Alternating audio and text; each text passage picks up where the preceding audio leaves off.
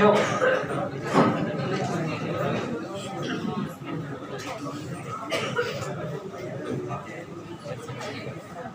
ચલો દરેકનું ધ્યાન અહીંયા. સમજવામાં સૌથી અગત્યનો મુદ્દો.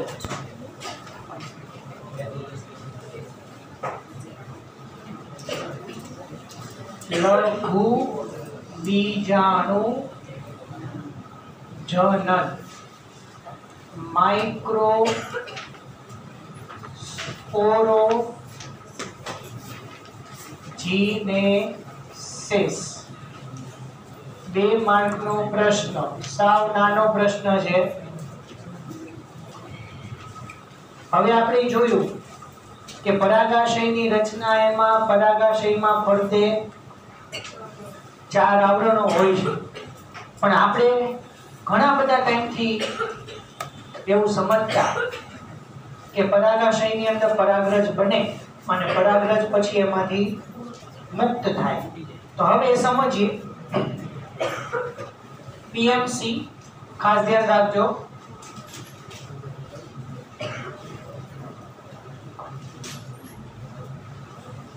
આ દ્વિતીય છે પીએમસી અથવા એમએમસી. બરાબર? તો પરાગ માતૃકોષ કહેવાય. પીએમસી એટલે પોલન મધર સેલ. પરાગ માતૃકોષ. પૂરું નામ પૂછાઈ ગયો. અથવા હવે આવી જ રીતે આપણે છે ને એમએમસી અંડકમાં જોશું. પણ અહીંયા જે એમ છે ને, આપણે ખાસ પુંકેસર માટે માઇક્રો શબ્દ વાપરીએ છીએ. એટલે એમએમસી નો મતલબ શું થાય? માઇક્રોસ્પોરો મધર સેલ લઘુ બીજાણુ માતૃકોષ. પડે ખબર? બરાબર? આ બધા એક્સ નામ. હવે જો તમને એમએમસી અંડકમાં કે, તો આપણે માઇક્રો નું શું કરવું પડે? મેગા તમને ક્વેશ્ચનની અંદર કંઈક ક્લુ આપ્યો હશે. કે એમએમસી ને તમારે પરાગાશયમાં કરવો કે પછી અંડકમાં કરવું? બરોબર? તો અહીંયા પરાગાશયની અંદર પીએમસી એ હવે, એટલે આ તો ખાલી આ બેના નામ વચ્ચે લખ્યા. બરોબર? હકીકતમાં આની કન્ટિન્યુમાં આવશે. તો પીએમસી અર્ધીકરણમાંથી પસાર થાય. હવે અર્ધીકરણ આપણે ભણી ગયા. બરોબર? તો અર્ધીકરણની અંદર કન્ડિશન શું આવે? જનીન દ્રવ્ય એકવાર બેવડાય. પણ કોષ બે વાર વિભાજન પામે. એટલે આંતરાવસ્થા માત્ર એક જ વાર થાય, પણ કોષનું વિભાજન બે વાર થાય. કારણ કે અર્ધીકરણમાં આપણે બે તબક્કા છે. અર્ધીકરણ એક અને અર્ધીકરણ બે. બરાબર? તો અર્ધીકરણ પછી અહીંયા ચાર પરાગરજ એકબીજાની સાથે સંકળાયેલી હશે. બરાબર? એને કહેવાય પરાગ ચતુષ્ક બસ ખાલી આમાં એટલું જ વર્ણન બે માર્કમાં લખવાનું છે કે પરાગાશયમાં પીએમસી પરાગ માતૃ કોષ અથવા એમએમસી માઇક્રોસ્પોરો મધર સેલ અર્ધીકરણમાં થી પસાર થઈ. પરાગ ચતુષ્કનું નિર્માણ કરે. તો એને કહેવાય પોલન ટેટ્રાડ. પોલન ટેટ્રા ચારે ચાર પરાગરજ એકબીજાની સાથે ગાઢ રીતે સંકળાયેલી છે. બરાબર? અને હવે તેની અંદર પરાગ ચતુષ્કની અંદર હવે કોષ રસ ઘટી જશે. એટલે ચારે ચાર કોષો એકબીજાથી છૂટા પડશે અને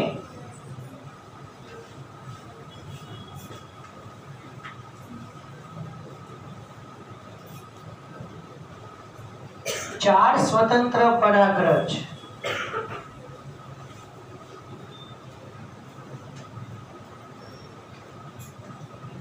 બને. તો પરાગરજને આપણે પોલન ગ્રેન કહીએ છીએ અથવા માઇક્રોસ્પોર કહીએ છીએ, બરાબર? તો પોલન ગ્રેન અથવા માઇક્રો સ્પોર તો અહીંયા જે સ્વતંત્ર પરાગરજ જે રહી, એ કેવી હશે? એકકીય. પહેલું ચેપ્ટર ભણી ગયા ને? એક એમસીક્યુ આપું. આપણે એક યાદ રાખવાનું, જો, ઓલું જે કોષ્ટક છે તમને જન્યુઓના નિર્માણ વખતે કોષ્ટક આપ્યું છે. બરાબર ને? એમાં મિયોસાઇટ, એટલે એને શું કહેવાય છે? માતૃકોષ એવું કંઈક કીધેલું છે. જન્યુ માતૃકોષ.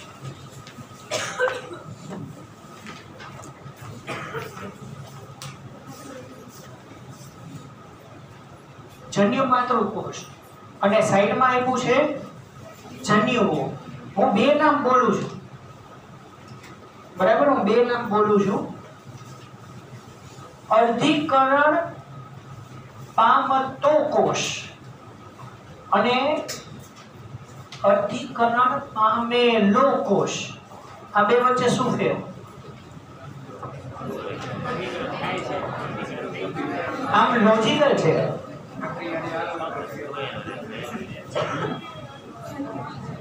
અર્ધીકરણ પામતો, હા, એ જન્યુ માતૃકોષ અને અર્ધીકરણ પામે લો, એનું અર્ધીકરણ ઓલરેડી પૂરું થઈ ગયું છે. એટલે એ પોતે એકકીય હશે. બરાબર? આની અંદરથી અમુક જ તમારે ખાસ યાદ રાખવાના છે. જેમ કે સફરજન. ચોત્રીસ. માનવનું તો ખબર જ છે. પાંચમા ચેપ્ટરની અંદર ડ્રોસોફિલા મેલેનોગેસ્ટર નામની એક ફળમાંથી આવશે. એમાં હું કહીશ ચાર જોડ રંગસૂત્ર છે એનામાં, એટલે એનામાં આઠ રંગસૂત્ર થયા, એ કન્ફર્મ બરાબર? ચો ઉપરથી ચો, ચોખામાં ચોવીસ. ચો ઉપરથી ચો, ચોખામાં ચોવીસ. એટલે પાંચ છ આપણે યાદ રાખશું ને ફ્રન્ટ બારસો સાહીઠ હાઈએસ્ટ બરાબર ને? ત્રિઅંગી, એટલે ફ્રન્ટ એમ ટૂંકમાં. ત્રિઅંગી છે ને? ઓફિયોગ્લોસસ એ ફોર્ન છે ફોર્ન ફોર્ન ઉપર એ ફોર્ન ત્રિઅંગી. એમાં બારસો ને સાહીઠ એટલે આમાંથી આપણે આખું કોષ્ટક જો આમાં છે ને કેવું છે ત્રણ માર્કનું ખાલી કોષ્ટક પૂછી શકે છે. હા, ખાલી કોષ્ટક તમને ત્રણ માર્કનું પૂછી શકે છે, પણ મોટે ભાગે ત્રણ માર્ક નો બીજો પ્રશ્ન કવર કરવો હોય અને આખું કોષ્ટક કવર કરી દેવું હોય, તો તમને જોડકા જોડોની રીતે એમસીક્યુ પૂછી લે. એટલે આખું કોષ્ટક આપણે યાદ રાખવાની જરૂર તો છે. પણ બેસિક પાંચ છ જેટલા આપણે યાદ રાખીએ એટલે લગભગ ઓપ્શનમાં કઈ મેળ પડી જાય બરાબર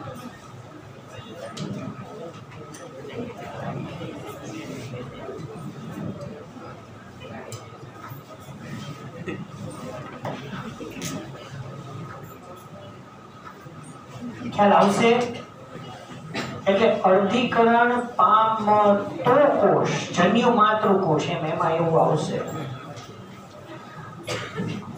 હવે જો, બીજું. હવે આમાં થોડું ઘણો બધો આમ તો ગોટાળો છે. હવે આ બધું તમને આવૃત, અનાવૃત એવું બધું આપણને અંદર આપેલું હોય. બરોબર? પણ આપણે હવે અગિયારમા ધોરણમાં થોડું યાદ કરવું પડશે. લીલ, દ્વિઅંગી. આ બધી વનસ્પતિનો દેહ જન્યુજનક છે, એટલે બધી વનસ્પતિઓ એકકીય હોય. જો ખબર પડે તો. બાકી ત્રિઅંગી, અનાવૃત અને આવૃત બીજધારી એમાં મુખ્ય વનસ્પતિ દેહ બીજાણુજનક હોય ટુ એન હોય. હવે અત્યારે જેટલું સમજાયું ને, એના રિલેટેડ ખાલી એમસીક્યુ આપું છું, કેવું વિચારવાનું થાય. ચોખા ચો ચો પેલી ચોખામાં ચોવીસ. તો ચોખાની અંદર, ચોખા જે છે એક દળી. હવે એક દળી એટલે આવૃત બીજધારી નો એક ભાગ. કારણ કે આપણને ખબર છે કે આવૃત બીજધારીમાં એક દડી દ્વિદડી બે ભાગ પડે. આ બરાબર? નો ખ્યાલ આવે તો કહેજો. વચ્ચે નો ખ્યાલ આવે તો કહેજો, કઈ એવું લાગે તો. હવે ચોખા જે છે એ એક દળ અને એ પાછું આવૃત ભીતારી તો આવૃત ભીતારીમાં મુખ્ય વનસ્પતિ તે બીજાનું જનક એટલે એ ટુ એન થયું એટલે ચોખાની વનસ્પતિની અંદર મૂળ, પ્રકાંડ, પર્ણ, બરાબર? પીએમસી એમએમસી એટલે મેગાસ્પોરમ મધર સેલ એ બધા ચોવીસ રંગસૂત્રો બનાવવા હવે આજે ચોવીસ રહ્યા ને, ચોવીસ જેને આપણે જન્યુ માતૃ કોષ કહી છીએ, એને જ આપણે વનસ્પતિનો દેહ ગણવાનો થાય. સાંભળજો ખાલી નામ ફેરવી નાખે એટલે બધો મિનિંગ પડી જાય. એટલે ચોખાની અંદર પીએમસી ચોવીસ રંગસૂત્ર ધરાવે. તો પરાગ ચતુષ્ક જ્યારે અર્ધીકરણ થઈને બન્યું, પણ હજી અર્ધીકરણ પૂરું નથી થયું. તો પરાગ ચતુષ્ક જે રહ્યું, એની અંદર રંગસૂત્રની સંખ્યા અડતાલીસ થઈ જાય.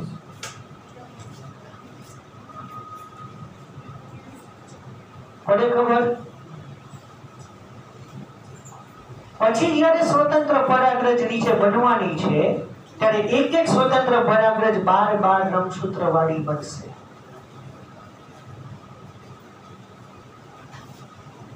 હા કે ધારો કે સફરજન, કઈ વાંધો નહીં, સફરજન ચોત્રીસ. તો અર્ધીકરણ એક, આને આપણે અર્ધીકરણ એક કહી શકીએ આને અર્ધીકરણ એક. અને આને અર્ધીકરણ બે.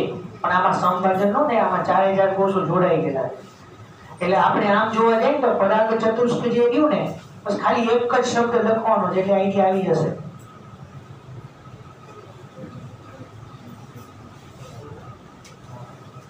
ટુ એન, એનું ફોર એન, પછી ચાર જુદા જુદા એન એન. બસ આ કન્સેપ્ટ સમજવાનો છે. હવે ધારો કે હું ચોખાની અંદર ચોવીસ, જો પ્રશ્નની અંદર જે ફેરફાર કરવો હોય એ કરી શકાય. પ્રશ્નની અંદર જે ફેરફાર કરવો હોય કરી શકાય. પછી એવું નહીં આને આર્ગ્યુમેન્ટ કરવાની. કે સર, આમાં તો આવું જ આવે. ધારો કે આપણે એમ અત્યારે યાદ રાખ્યું કે ચોખામાં ચોવીસ, માનવમાં છેતાલીસ. ચલો એક્સેપ્ટ ધારો કે પ્રશ્નમાં ફેરફાર કરો તો એવું કહી શકાય. માનવની અંદર જો બાણું રંગસૂત્ર હોય, કહી શકાય. તો એના જન્યુની અંદર છેતાલીસ રંગસૂત્ર આવે. અડધા ગણવાના તો જેમ આપણે છેતાલીસ ને ટુ એમ ગણતા હતા, એમ હવે આપણે બાણું ને ટુ એમ ગણવા પડશે. બરાબર એટલે આપણે એમાં એક વાક્ય ખાસ તમારે ધ્યાન રાખવાનું છે. પહેલા ચેપ્ટરની અંદર. સજીવ એકકીય હોય કે દ્વિકીય?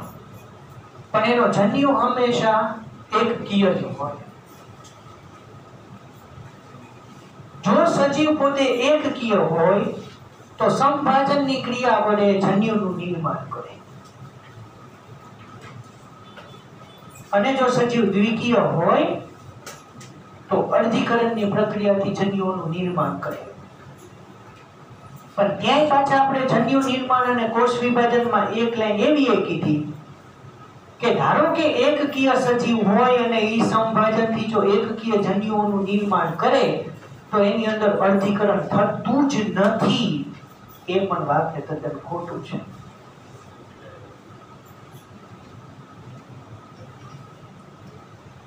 એકકીય સજીવો એકકીય જન્યુઓનું નિર્માણ કરે તો હંમેશા લિંગી પ્રજનન કરતા સજીવોની અંદર ફલિતાંડ દ્વિકીય જ હોવાનું છે.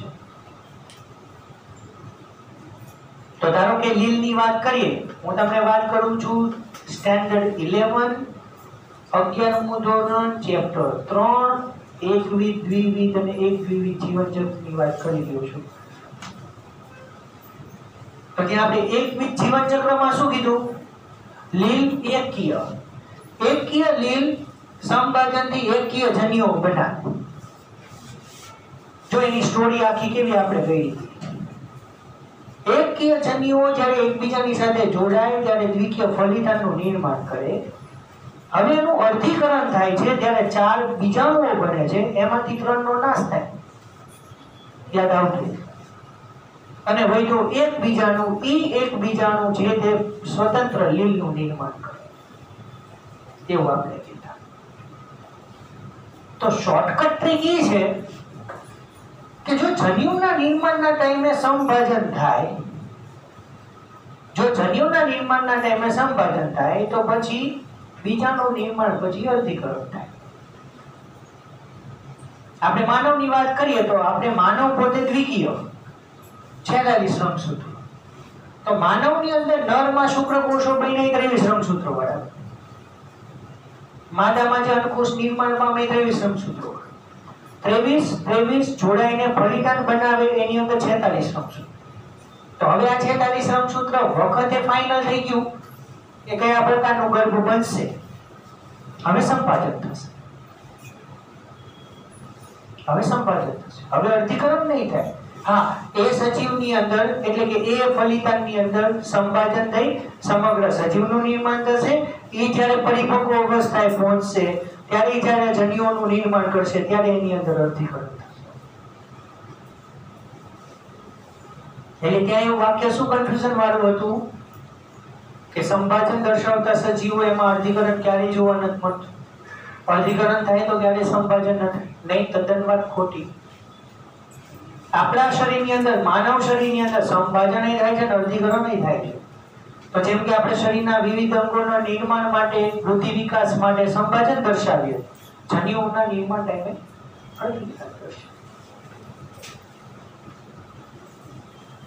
ચોખામાં ચોવીસની વાત કરી, હવે હું ચોખાની બદલે લીલ કરી દઉં.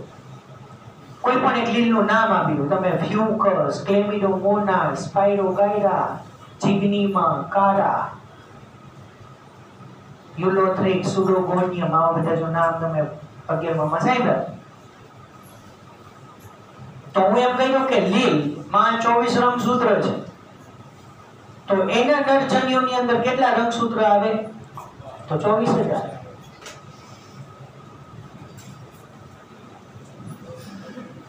બાર શું કામ નો આવે? કારણ કે લીલ પોતે એકકીય છે. એના જન્યુઓમાં ચોવીસ રંગસૂત્ર જ આવશે. પડે જ ખબર? નહીં. પડખી પડી ખબર? પાકું ને? તો આગળ જો ખબર ન પડી હોય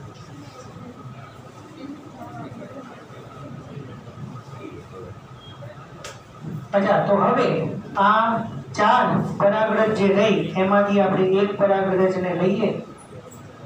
બરાબર? અને એને આગળ આપણે વર્ણન દર્શાવીએ. નીચે કન્ટિન્યુ અહીંયા. બરાબર?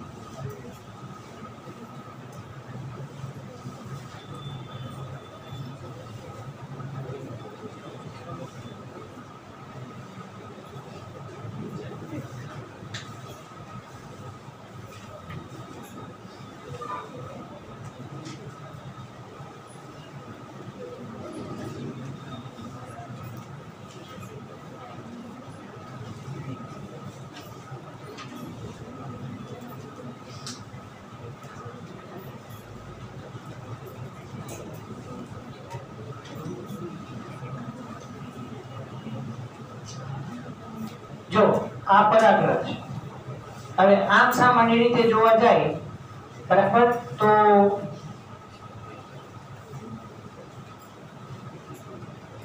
પરાગરજની રચના આપણે આગળ વધીએ જાઓ પરાગરજ, ગોળ, લંબગોળ, કંટકીય હોઈ શકે છે. જુદા જુદા પ્રકારની પરાગરજ હોઈ શકે. બરાબર? પરંતુ સામાન્ય રીતે પરાગરજ ગોળ હોય છે.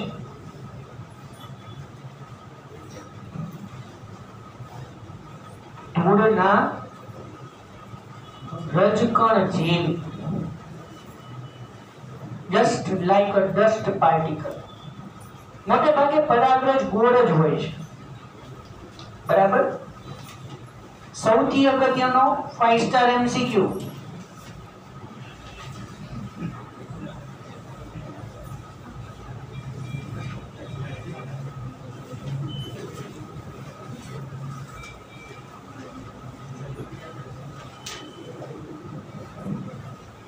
પરાગરજનું કદ 25 થી 50 માઇક્રોમીટર પણ વ્યાસ. બરાબર? હવે અહીંયા એક પરાગરજ બતાવી છે. પરાગરજનું અંદરનું આંગણ જે અત્યારે આપણે દોર્યું. બરાબર? એને કહેવાય અંત આવરણ. In time.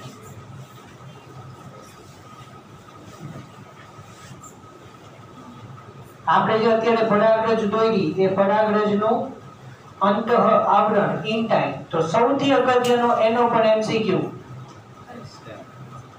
yes five star cellulose અને પેક્ટિનનું બનેલું બધું તમને મળશે ટેક્સ્ટ બુક છે આવ્યું જાવ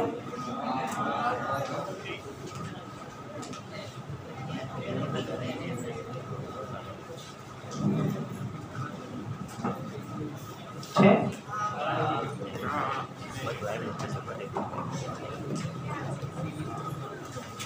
હવે બહારનું આવરણ જે છે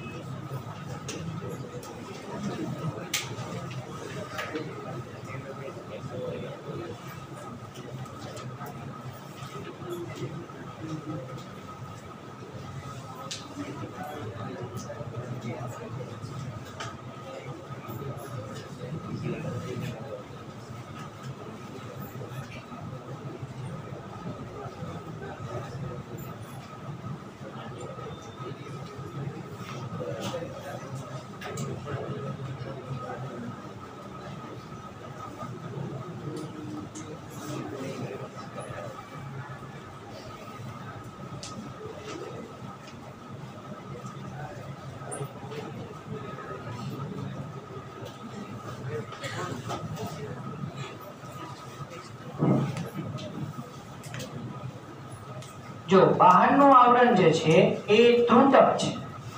સળંગ નથી. બરાબર? તો બહારનું આવરણ જે છે, એને કહેવાય બાહ્ય આવરણ. એક્ઝાઇમ તો એનો અગત્યનો એમસીક્યુ અને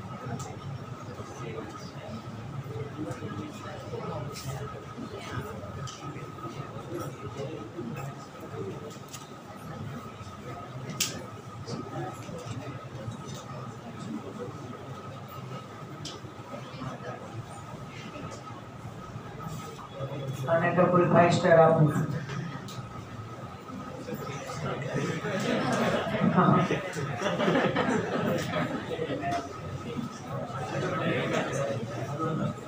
બહારનું આવરણ બાહ્યાવરણ જે સ્પોરોપોલિનિનનું બનેલું છે.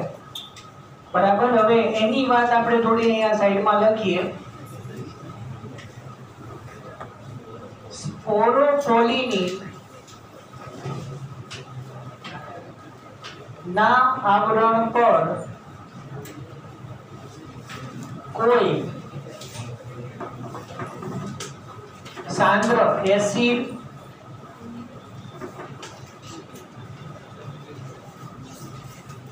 સાંદ્ર બેઝ સાંદ્ર આલ્કોહોલ કોઈ રસાયણ કે કોઈ પણ ઉત્સેચકની અસર થતી નથી. સ્પોરોપોલિનનું આવરણ એટલું બધું મજબૂત અને અપ્રવેશશીલ આવરણ છે કે એ આવરણની ઉપર કોઈ પણ પ્રકારની આડઅસર થતી નથી. જેના કારણે પરાગરજ અશ્મિ સ્વરૂપે.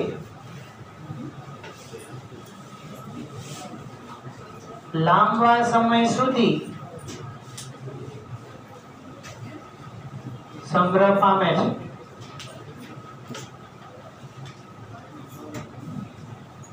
એટલે આપણે ભલે ધૂળના રજકણોની વાત કરી, પણ ધૂળના રજકણોની અંદર ક્યારેક પરાગરજ પણ આવેલી હોય છે.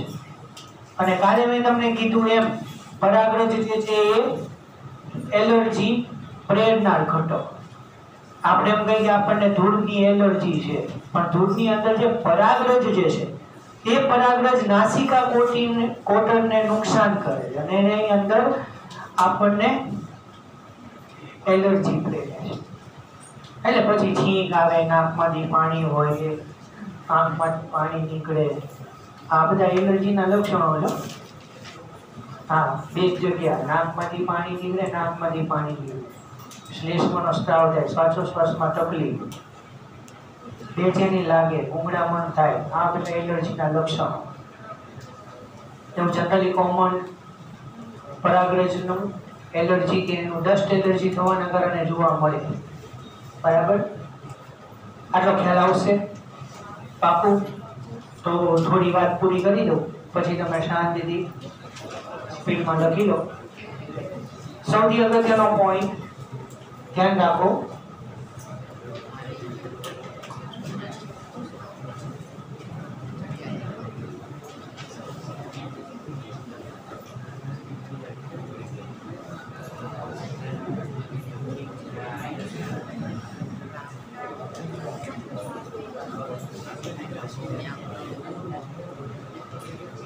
સ્પોરોપોલિનનું આવરણ.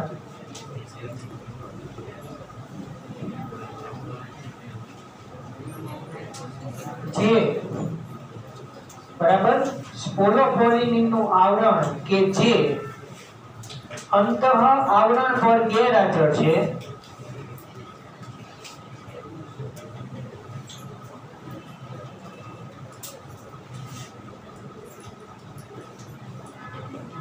તે જગ્યાને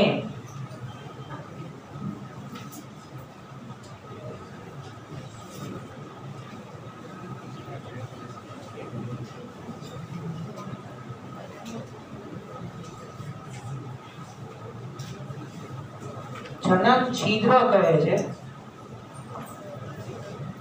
અચ્છા, તો જનન છિદ્રને લેબલ આપી દઈએ. બરાબર?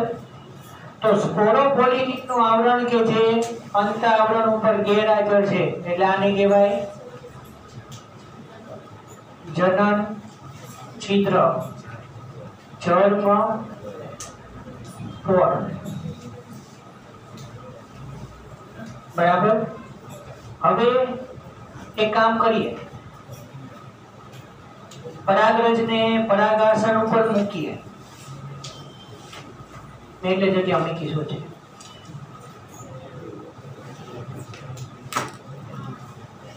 બરાબર પરાગરજને પરાગાસન પર મૂકે. સમજજો. આકૃતિ પછી ઓરિજિનલ દોરી નાખજો, પછી પરાગાસન વાળી દોરીઓ તે દોરજો. થોડો ફેરફાર કરું. કાંઈ નથી. પરાગરજ જ્યારે પરાગાસન ઉપર આવે ત્યારે અમુક રસાયણોનો સ્ત્રાવ થાય છે. તમે શબ્દ સાંભળ્યો તો કીમોટ્રોપિઝમ આપણે વનસ્પતિની અંદર બે પ્રકારના હલનચલન થાય. ટ્રોપિક હલનચલન અને નેસ્ટિક હલનચલન. એમાં થીગમો નેસ્ટી લતામણીનો છોડ, નીમો સા ટચ મી નોટ પ્લાન્ટ જય સ્વામી બાઉન્સ થઈ ગયું? થીગમો નેસી લજામણી. એને મીમોસા કહેવાય. Mimosa touch me not plant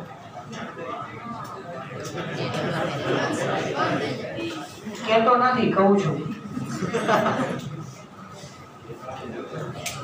પણ સાંભળો, એક જ છેલ્લો પોઈન્ટ પછી તમે શાંતિથી લખી લો. હવે શું થશે? પરાગરજ પરાગાસનના સંપર્કમાં આવી ગયું. એટલે થોડું પરાગાસન વિઘટન પામશે. રસાયણોના સ્ત્રાવના લીધે અને છેલ્લું વાક્ય. અંતઃ આવરણ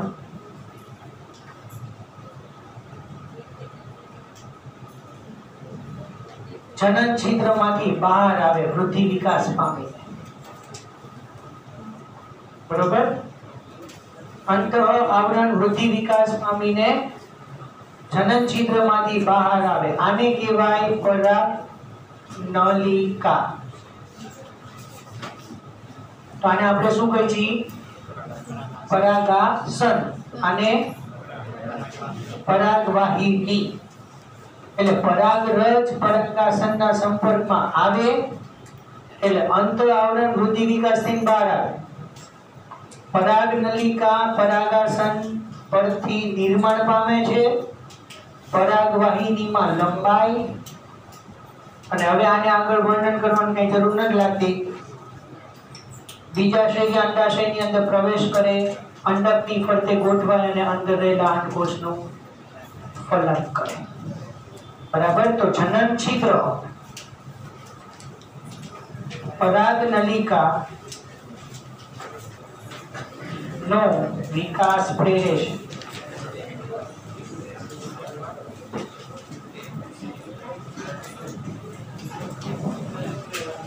અને આ જે બ્લેક કલરનું છે, એ છે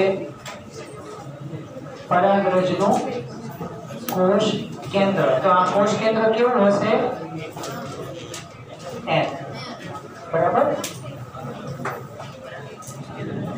ચલો શાંતિથી લખી લો બધું.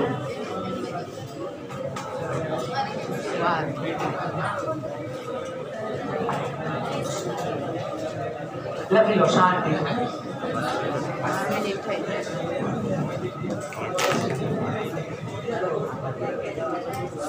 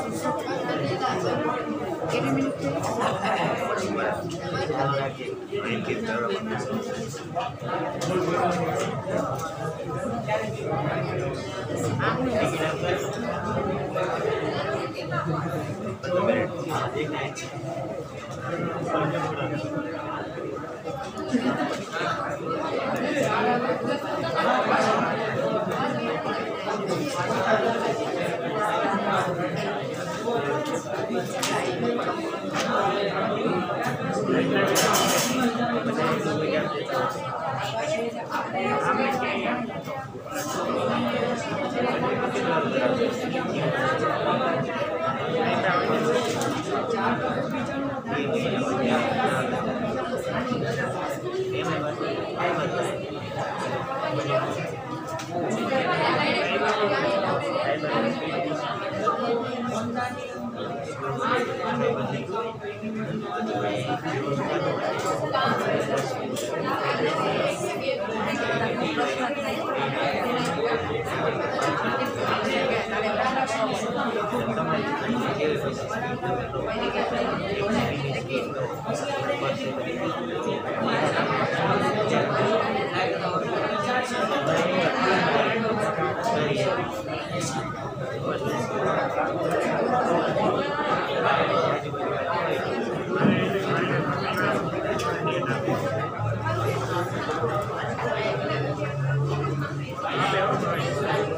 આજના ટોપિકનું રિવિઝન બપોરે કરાવવાનું છે. તમારામાંથી કોઈ પણ એકને ઊભા કરી પૂછીશ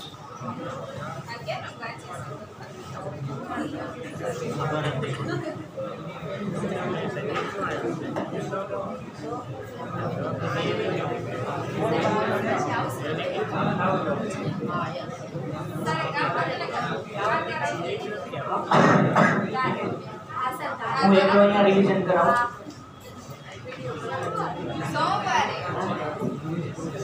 ત્રેવીસ નંબરના પેજ ઉપર અંતર આવરણ સેલ્યુલોઝ અને પેક્ટિનનું બનેલું છે, ત્યાં સુધી આપણે પૂરું કર્યું. બરાબર?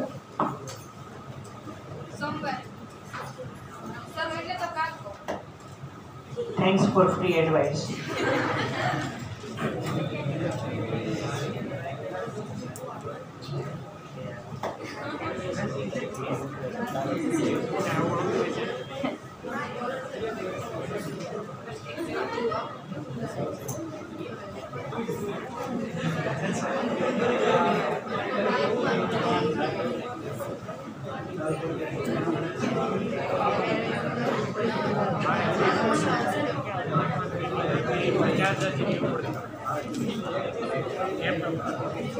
લખવાનો ટાઈમ પણ દસ મિનિટ છે લખવા માંડો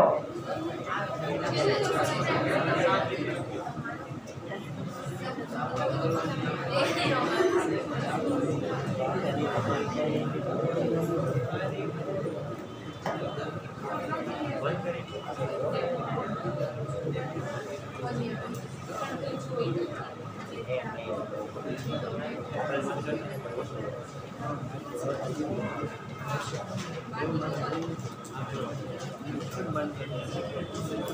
you.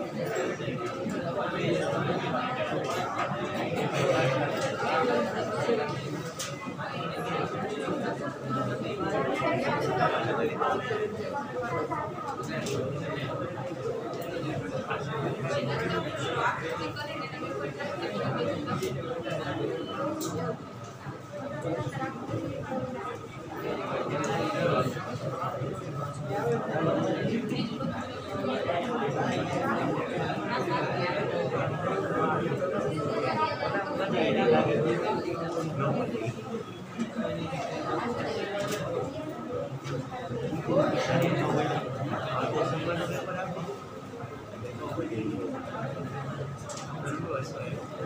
you.